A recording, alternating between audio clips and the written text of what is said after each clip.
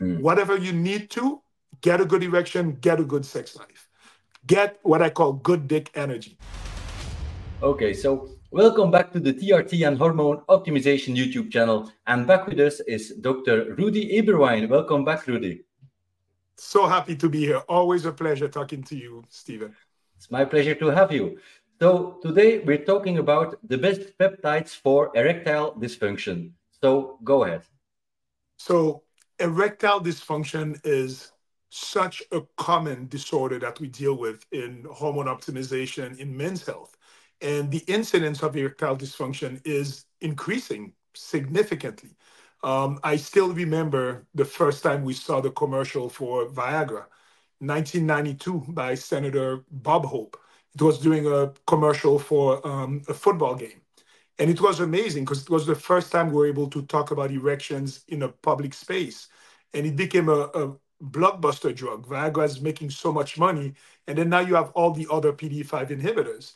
And I think since then, the face of ED has changed. So when you look at companies like Hims and Roman, who are online platforms that are selling Viagra, sildenafil, the generic for Viagra online. The actually the the spokesperson, the owner for Roman, is a 27 year old guy who came in on TV and said that he had ED, his dad was a doctor, didn't want to go to the doctor's office, and he started an online platform. So to me, that, that's a great thing first that you have young guys who can come and say that they're dealing with this. So taking away a lot of the stigma of ED. But you see that in 30 years, we went from the spokesperson for Viagra being a 72 year old man to now it's a 27 year old man for, for ED. So it shows us that the incidence of ED is increasing it is really something that we don't talk enough about. And ED, a lot of people will say it's in your mind. Yes, ED can be very psychological, but a lot of time there may be an organic reason, a physiologic reason for it. And the bad thing with ED, you have one miss and it's in your head now. Mm-hmm. It happens to a guy one time for whatever reason. He drank too much alcohol, he, he wasn't in a good mood, he took some medication. It happens one, now, every time you're going to go and perform, it's in your mind. Now, mm-hmm. when it's in your mind, your cortisol level goes up and then it goes. So it becomes a, a, a cycle. Yeah. How do you stop that? So, first, you have to see if there's a physiologic basis. So, when patients come to our office, one of the first reasons for low T, not first, one of the main complaints of low T is decreased sex drive, decreased libido, or ED. And there's a difference between those two because some patients will tell you, my sex drive is low, my desire is low. And I'm like, how's your mechanical erections? They're like, the mechanics are fine. I just have no desire. Low T will cause a lot of this. And testosterone, most of the times, can fix this. Testosterone increases sexual desire, um, sexual um, enjoyment, even orgasms become stronger. But the problem is which the problem is with the mechanical erections, and we see that a lot. And sometimes testosterone does not fix that. So you'll get a lot of guys on testosterone their levels are 800, 1,000. They feel great. Their desire is better, but they're still persisting with ED. Mm-hmm. And I call it, I don't even like to call it ED. I like to call it EP, erectile problems, mm-hmm. um, or EI, erectile issues, because it doesn't need to be dysfunction to be distressing psychologically. It could be that the erection is not strong enough, not firm enough. It could be that you missed one time. It could be that you get an erection and then you lose it during sex. So all of those are erectile issues that cause yeah. problems. So what do we do with patients like this, right? So first, I take a very good history. When did you start with, with the erectile issues? How bad is it? I usually ask, you know, how confident are you that if you're going to engage in sex, that you have a strong enough erection to do penetration and to finish all the way through from one to 10.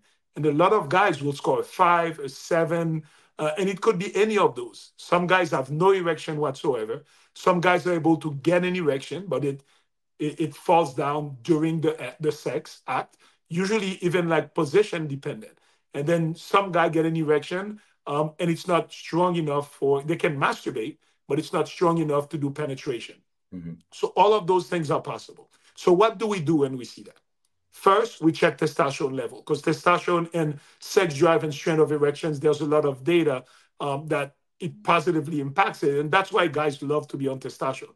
Their sex drive is better, their erection is stronger. So the first thing we do at our clinic, we check testosterone levels, it's, it's inadequate. Then we go and we try to see. And in most cases, that fixes both problems, the desire and the strength of the erections. Mm-hmm. Most guys who come to our clinic, they're already taken Viagra or they've tried Viagra or Tadalafil because it's so easy to get now because thanks to those online generic, it's much cheaper to get. So a lot of guys will take that. Uh, but there's about a 40% not, uh, rate of non-responders to PD5 inhibitors like Viagra. So a lot of the guys that come to us, they already bought Viagra online, they bought Tadalafil online. If it works perfect, we don't tend to see those patients. Mm-hmm. It's when it doesn't work that they call us. So the way I approach it, number one, I fix and replace testosterone, so therapeutic testosterone as needed. If that, then I tell the guy, wait a couple of months, see if it works. If it doesn't work, or if I see that the erection was pretty bad from the beginning, I'll do a combination of testosterone replacement plus microdosing tadalafil. Five milligram of tadalafil or Cialis brand name daily is actually FDA approved for, for better prostate health. It's a muscle, it's a vasodilator, so you tend to get more blood flow. Bodybuilders like it, they get more vasculature uh, when they work out. So it's a really good hack to do testosterone replacement plus micro, microdosing Cialis. And then I like to add nitric oxide, a good form of nitric oxide, because nitric oxide is also um, causing vasodilation and it's upstream of PDE5 inhibitors. So we've had guys who were taking Viagra or Cialis, did not respond to it. You add a good source of nitric oxide, now they respond to it. So it, it's almost when I evaluate a patient with ED, we have scale of treatment that can do, a gradation system. So first, testosterone replacement. First, of course, it's always, if you're overweight, you have insulin resistance, uh, you're not eating well, you know, you have belly fat, all those increase inflammation and decrease erection. So we fix those things. So always, it's always nutrition, exercise, lose weight, keep lean muscle mass. Number two, testosterone replacement if needed. Number three, PDE5 inhibitors plus nitric oxide. When we do all of those things, most of our patients do better. But the case that we see a lot is venous leakage. I tell my guys, erection in men were very simple erections are a hydraulic issue, right? The way we get an erection, it's blood flow. The penis is flaccid. Um, blood comes to the artery. You get tumescence or an erection, but immediately the blood can reflux through the veins. If the veins don't close and hmm. maintain the blood in the penis, you'll have tumescence, then venous leakage and goes back down. And you'll get a lot of guys tell you this. They're like, when I take Viagra out, I think I feel blood flow coming in. You feel tumescence. You feel that it's getting harder, but it doesn't stay. It doesn't stay. Those guys never get a full erection, or guys they get it up, and then this, it goes down, and it goes down sometimes depending on position. Uh, very easy to know if a guy tells you when she's on top and I lose my erection, that sounds like venous leakage. Mm-hmm. Venous leakage actually on studies has been shown to account for about 80% of cases of erectile dysfunction. So, and it's a very simple hydraulic issue. Guys were very simple, right? Women, when you think about their desire, their orgasm, there's so many hormones. there's they need to feel love, they need to feel connection. A guy, you get an erection, you're ready to go, right? It's that simple. Yeah. So now going back to, to the way I treat patients with EI, erectile issues. So we do all those things. We fix their nutrition, we'll help them lose weight, we put them on testosterone if needed, we add um, microdosing Cialis, we add nitric oxide. Most patients will get results with this. Now, if you don't, I tell patients to separate the results of testosterone from their erections because sometimes it doesn't work. They're, they're, unrelated. So they'll tell me, I feel great with testosterone. I've got lean muscle mass. I'm less anxious. I sleep better. I get all the benefits, but my erect, erection is still bad. Maybe I need more testosterone. This is not where the place where more testosterone is always the answer. Sometimes mm-hmm. more testosterone is bad. What I do with those patients, sometimes HCG will increase uh, desire, will increase tumescence, like better erections. So in my practice, I'll say maybe 20 to 30% of our patients like the combination of HCG plus testosterone. A lot of guys don't like to stay on, on, on, HCG, and I give them the option to maintain some testicular function. But for some guys, adding HCG for sure can increase erection, can increase sex drive. Then if we do all this, none of it works, and we're suspecting venous leakage. That's where I like really to go over venous occlusion rings, cock rings. Really, really important. The, the porno stars know about this. They're all using that. Because again, it's a very simple mechanistic um, hydraulic issue. If you get blood flow and the blood refluxes, you lose your erection. How do guys like to stay and perform? They use cock rings. So there's multiple companies now who, who've come up with FDA cleared medical devices that are called venous occlusion ring that mm-hmm. are really good for ED, especially for venous leakage. Those are amazing. Like the one that I prefer, it's called Xialla, X I A L L A. It's been FDA cleared and it is a venous occlusion device. So it is a, a cock ring that you put at the base of the penis and closes the veins. This can get guys amazing erections. And some of our guys, when they get to that level, they, they'll use a penis pump. So again, it's a very, I, I, I love how guys are simple. You understand physics, you understand erections. So you use a venous, uh, uh, an air pump where you do the vacuum, you bring the blood into the penis through the arteries, then you'd cause the venous occlusion.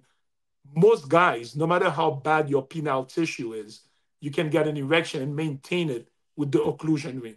So that is a good thing. So I have guys that, again, you go down the list. If I have to go all the way down to using this, we will. Now, I have to tell you, those guys who do all this, erection is still not good. That, that, that, that's the truth. And, and they'll tell me, my, my testosterone's not working. We don't understand yet how what causes why erections sometimes happen so bad. There are studies now showing that plasticizer like phthalates, BPA, when you expose to them, they cause direct um, cytotoxin of the, the, the testicular cells um, effects, or they cause penile cell effects. So you have destruction of the penile tissue, and we don't understand why the, the patients don't respond to nitric oxide. And that's where what I tell patients you need to be able to get a great erection no matter what because an erection is such an important part of a man's life, having great sex. Um, you know, I came up with this word I told you before sexual performance related anxiety and depression spread.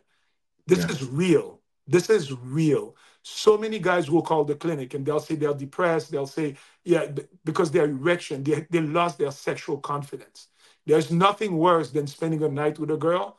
You couldn't get it up, or you, you didn't make her come, you didn't please her, men we are driven to please our women right to please the female yeah. so when that doesn't happen it is a truly distressing psychological situation for men whereas the opposite you had a great night of sex you had great erection you you know like you performed well she she she came you came it, uh, men are more driven to please their females than getting the pleasure themselves you have a great night of sex like this the next day you're different your mm-hmm. shoulders are back. You're smiling. You're saying hi to everybody.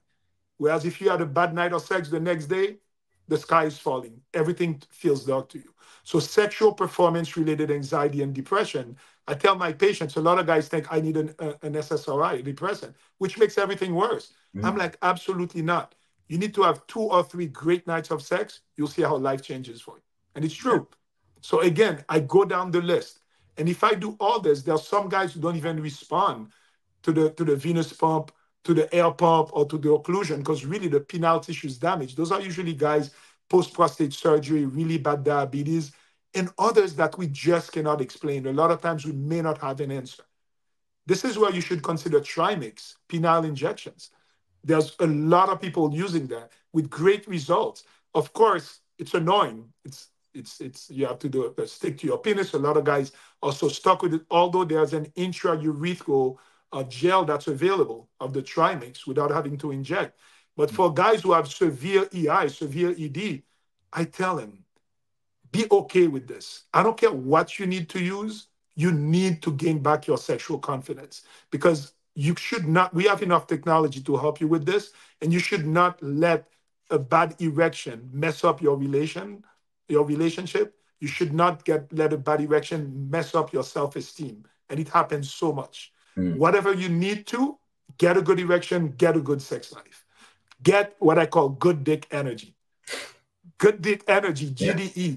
What it means is you feel confident in your in your sexual um uh, you, you, you feel sexually confident. And mm. sexually confident just doesn't mean doesn't mean a sexual issue even for the female, you know, like making her feel safe, making her feel confident, and having great sex, it's so good for your mental health. So yeah. if you have to use Trimix, despite using everything we said upstream of this, It is what it is. Just accept it. If that's what it is, you need to. And trimix, of course, there, there's a lot of instructions. There's side effects of priapism, erections lasting too long. But when done properly at the right dosage, usually guys, it takes maybe a few times, then they get used to it. And guys love it.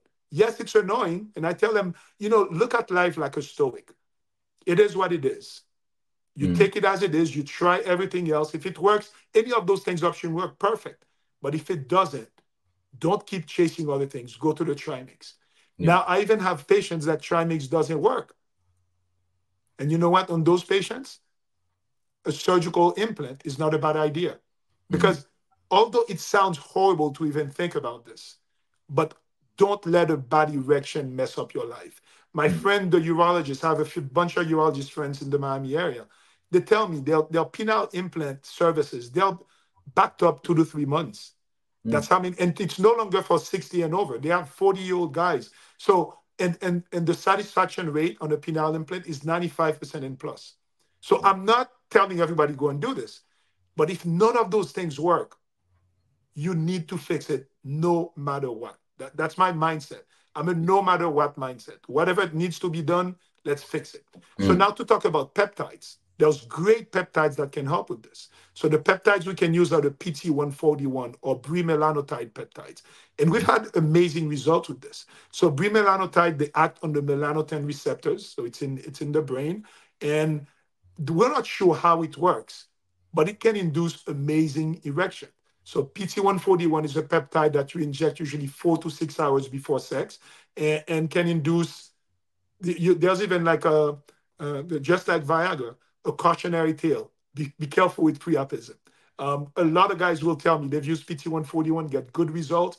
The next day they're walking and they get random erections. So it's almost like a tadalafil. The, the duration action can be up to 48, 72 hours. So you mm. may still get more reaction. And PT141 is amazing. It's not just the erection. You kind of get more, more, more, more, more power and more pleasure in sex. I've tried it. I love it. It's amazing. I call PT141 the porn star in a shot. Mm. when it works, it works really well. Of course, there are side effects. One of the main side effects can be nausea, flushing. So what we recommend in our practice is to start at the lower dose. Yeah. So again, if I see at my patient that came in with, with problems or erectile issues, and we went down the list, right? Weight loss, testosterone replacement, tadalafil, nitric oxide, we do the cock ring, um, nothing great. Um, maybe before trimix, I'm like, let's try PT141 because that's an easy thing. Yeah. And for a lot of guys, PT141 plus daily Cialis and testosterone, they're happy with it. They're great. They don't need trimix. So that's a really good peptide. Again, it can be the, the main side effects is the nausea, the flushing. But another thing that we need to tell people, because it stimulates the melanin receptor, the melanotan receptors, one of the side effects or good benefits are that it can tan your skin. Yeah. So when you take it, you will notice that your not everybody it happens, but if you have fairer skin, it can happen more often. You see darkening of the skin, which is most people like that. They get mm-hmm. more tan. Um, some people can get it more and they start seeing the nevi, the little nevus yeah. gets a little darker, so that becomes yeah. a little scarier.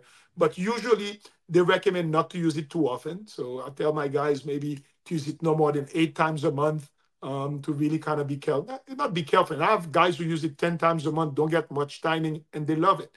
Yeah. So everybody's different, but that PT141 as a peptide, for the people that it works with and does, don't get side effects, they love it. And that the other melanotan products are melanotan 1 and melanotan 2. Those are mostly for tanning of the skin. Yeah. And a lot of people love to use that especially in our practice, we've used a lot of melanotan 2 and for, for tanning of the skin. There's less of the sexual effects of melanotan 2 or melanotan 1, but some people still get increased libido and better erections, but way less than bremelanotide, bremelanotide which is PT141. So a lot of my guys who don't have problems with erection will use um, uh, melanotan 1 or melanotan 2 more for tanning with plus or minus sexual um, effects. Pre um, PT141 or bremelanotide will give you mostly the side the, the sexual desired results, less of the tanning, although it can still happen. Mm-hmm. So, so this is the whole gamut of what we tell patients. So when I do a consultation with my patient, very rarely did they find somebody, a doctor or, or a provider that can talk to them about openly about sex. And I try to be very open. I'm like, this is part of wellness. This is this has to be part of wellness. We yeah. we are animals. We are sexual animals before anything. Hmm. Sex. There's people who, who identify now as asexuals, yeah. and you know what? They don't, and, and that's okay. But if you're somebody that this is important for you, and for most people it is, having a healthy sex life is always important. And what I tell my guys also, and a lot of times erectile issues and erectile dysfunction is very humbling for some men, but it makes them better lovers because now they don't just rely on the erection. And we know that men and women have such different way of achieving orgasm. A mm. guy gets an erection, most of them they just want to go and pump away, and in three, five minutes it's done. The woman takes almost 20 minutes to get really prepared for arousal and then eventually orgasm. So if you don't really take your time and be patient and do a lot of foreplay and get involved in all this, yeah, it, it's your woman may not be satisfied and it's mm. not a good relationship. So a lot of times when I tell my guys who have any erectile issues, I'm like, learn to please your woman from other ways that will make you a better lover. Of course, you want the strong erection, you want that GDE, but it makes you a better lover when we when sometimes that humbling experience happens to you yeah. and you're like you do more now once you learn all the other things and then now you get back the strong erection you're superman. Awesome. Yeah